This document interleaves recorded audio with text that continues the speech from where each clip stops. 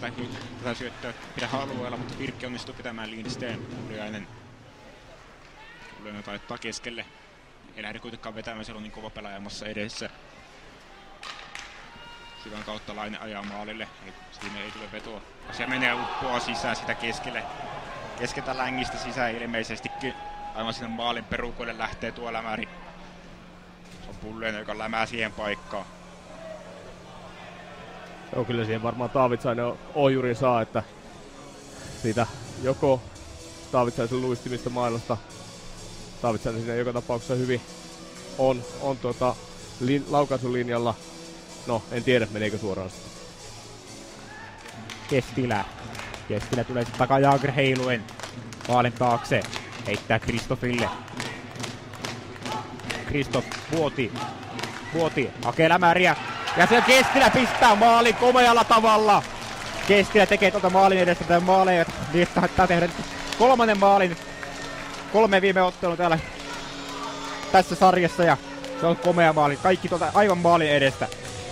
Siinä ei Tuto vaan saanut lopulta kiekkoa ulos alueelta. Siinä oli niitä paikkoja, mutta hyvät oikea-aikaiset takakarvat niissä paikoissa, kun Hokku kompotteli kiekkoa, niin eivät ole kuitenkaan päätyneet purkukiekkoihin. Ja Virras Virras, joka on ollut vähän huonolla jalalla tässä ed- edellisessä otteluissa, mutta ei ole tässä ottelussa ainakaan vielä mitään pahaa menestystä tehnyt. Lindsten ajaa maalille ja se on maali.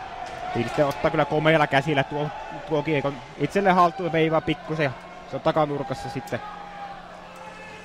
Joo, tilanteeseen lähdettiin sillä tavalla, että tuossa uh, suoraan toimitsija edessä Lindsten rajalla sellaisessa epämääräisessä vääntötilanteessa, missä kahnasivat ja siitä lähtee Lindsten lintuoksalta ja rajalla jää heti siinä lähdössä sen muutaman potkun jälkeen. Ja iskenyt siellä maalin. Vielä on loistava kevät ollut tähän asti. Virras laukoo, Virras laukoo, Kiekon maali! Uskomaton lämäri suoraan takanurkkaan. Koko sarjan ajan herjattu Virras pistää siihen väliin sellaisen pommi, että oksat pois omena pirkasta. Se on maali, se on komea maali. Se on 2-2.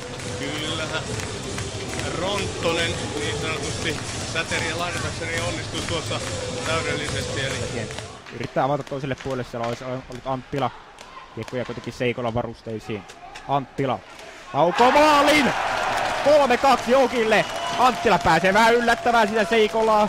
Seikola vähän huonolla jalalla ja Anttila vetää terävällä rannelaukkauksessa sinne alanurkkaan. Kähkönen on yllätetty kolmannen kerran tämän illan aikana, kun 2.43 tätä toista erää jäljellä. Ihan objektiivisella silmällä täytyy sanoa, että kyllä sitä Kestillä taitaa jonkin verran ehkä olla. Siinä ja siinä oliko paitsi, sanoisin, että oli kyllä. Ja en tiedä, näköisesti estämisjäähy sieltä annetaan, koska... Mattila hakee hyvällä syötöllä Kestilän. Kestilä laukoo maalin! Kestilä pistää Kähkösen puikoista tilanteeksi 4-2 siirtyn rangaistuksen aikana. Mattila pistää aivan loistava läty sieltä omasta puolustuspäästä. Se tulee sitten Kestilälle. Kestilä laukoo terävästi jäitä pitkin ja se on maali 4-2. Näyttäisi, että Hokilla ja aivan kesäloma vielä tänään alla. Sanottaisinko tuossa, että Kaapo Kähkönen ei voi olla tyytyväinen pelaamiseensa. Tuommoisia ei vaan yksinkertaisesti saa päästä. Sama aika, mutta toisaalla on tapahtunut, että siellä Imatra Ketterän mestisunelmat tällä hetkellä valu hukkaan. Siellä on tilanne 1-5 tänään. Ja maali! Se on maali!